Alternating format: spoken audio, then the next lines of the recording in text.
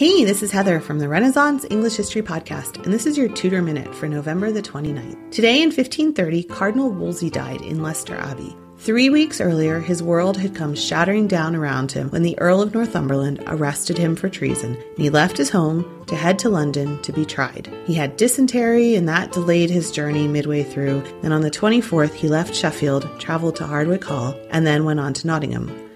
When he arrived in Leicester Abbey, he was so ill that he told the abbot that he had come to leave his bones among them. The morning of the 29th, he made his confession. He said his famous words to Master Kingston, the constable of the tower, who had come to take him to the tower. He said, Master Kingston, I see the matter against me now it is framed. But if I had served God as diligently as I have done the king, he would not have given me over in my gray hairs.